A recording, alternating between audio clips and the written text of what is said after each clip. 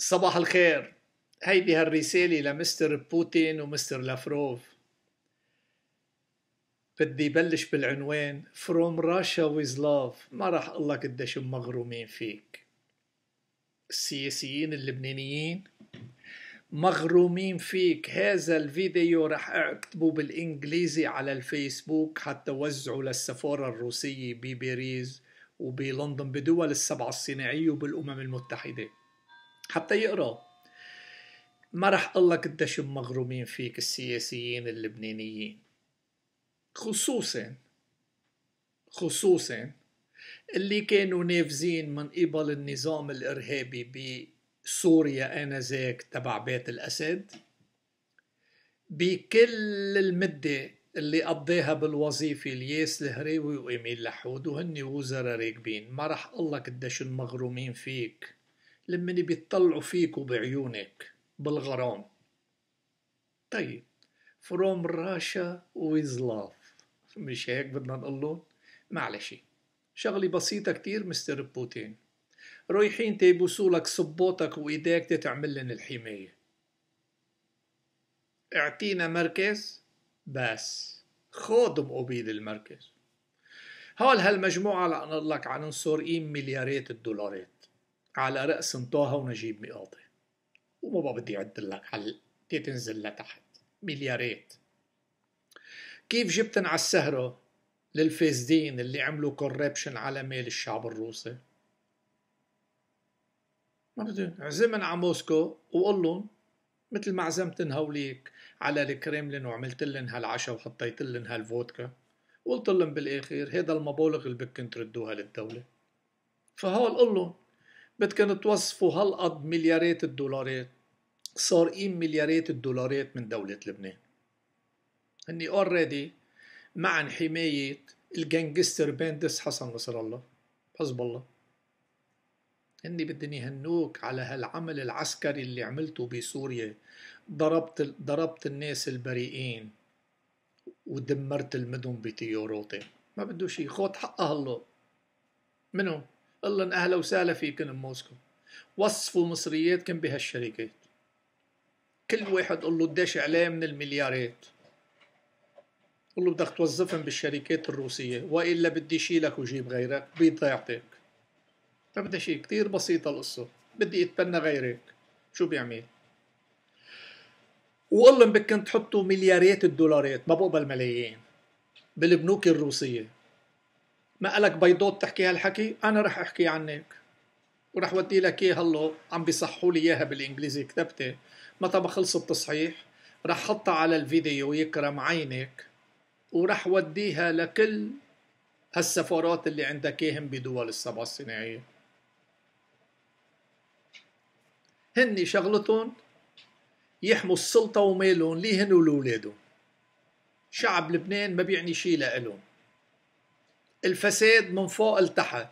وخصوصا خصوصا خصوصا خصوصا الموارنة. السياسيين الموارنة والسنة اللي وضعهم نظام بيت الأسد وحكى من هالبلاد وذلوا هالناس. طلب من البطرك الراعي كمان عنده مال كتير البطركية كسر عن رقبته. كسر عن رقبته البشور الراعي. هيك حكيه. أنا عن علمك معلش أنا موروني عن علمك قل له هذا المبلغ اللي بدكم تحطوه بالتوظيف وهذا المبلغ اللي بدكم تحطوه بالبنوك. هدايا ومهدايا بوغدانوف صار عنده كتير هدايا وهلا بيجيبوا اللافروف. كلن كلهم كلهم. وإنه هني عندن علاقات معك. لا تخليهن ياخدوك بالشعر العربي أعشقك أحلم بك أنت حبيبي. هذا كلام ما بينصرف عند الأمريكان. خصوصا عند الإسرائيليين. ما بينصرف هذا الكلام. فلا تخليه ينصرف عندك. القصة كتير بسيطة. وإذا هن كتير بدن يتنوروا عن التفوق اللي عندك بروسيا يطلعوا برات موسكو. مثل مثلا من زغرتا بتروح على بيت البيع أو على رشعين أو على أردة مش أبعد من هيك. ويشوفوا الناس كيف بيطلعوا لبرا تيشخوا تيخروا ما في حمام بالبيت. يروحوا يشوفوا بعينيهم. لأنه كل الشباب اللي عم نلتقى فيهم وخصوصا الموجودين بالجامعات والخلصوا جامعات عم بيشتغلوا بال finance من اصل روسي عم نسأل شي ببكي. اذا أنت مشان تساعد بلادك طالما أنت مستر بوتين ومستر لافروف بتحبوا روسيا كتير هذا هالمال المسروق حطوا عندكم. وصفوه مع هالشعب وخليه يمشي هالشعب وخلوا كل بيت يكون في حمام. حيج بقى المرة بتطلع لبرا تحت الثلوج نعم. بدي كير كتير كون قاسي معك مستر بوتين ومستر لافروف لأنه هذا مالنا مال الشعب اللبناني اخدوه سرقوه نهبوه حسن نصر الله نرجع نرجع. ما ما تخوف بدنا نضل نلوح إيدك وبنرجع لك. ما تخوف شفتوهن أنتو يا وطنيين السوريين واللبنانيين؟ كيف بيروحوا يتزلفوا بموسكو عند بوتين؟ لأنه ميل تدفي هلو. وينو غروميكو بس وينو تروتسكي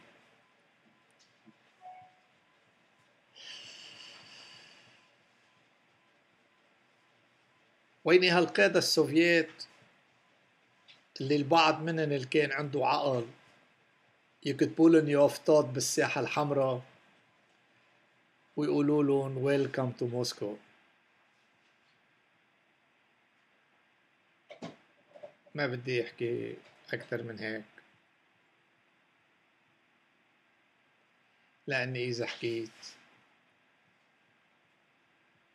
كأنها غواية بنفس يعقوب بس هيدي الحقيقة. بده شيء كتير بسيطة مستر بوتين. أنا رح أعمل مستشارك لشؤون الأمن المالي. فراد مثلا. البضاعة الروسية زدتوا كل السيارات اللي عندهم ما هني مغرومين فيك الأمريكية ما بقى. ولا الأوروبية ما بيركبوا إلا سياراتكم. هني ولادهم. ما بيشتروا لانش إلا من لانشاتكم ويخوتاتكم يفرجوك. يا خيي you said you love me prove to me ما بدها شيء كتير بسيطة القصة. شكرا. ما بدها شيء كلام كتير بسيط. From Russia with love. okay. ما بيستحيوا بدهم بدهم الحماية كيف ما اقتضى الأمر والسلطة. ككاهن يلتقي بوسن فأخذ يحرق البخور للوسن مش هيك؟ بأمركم.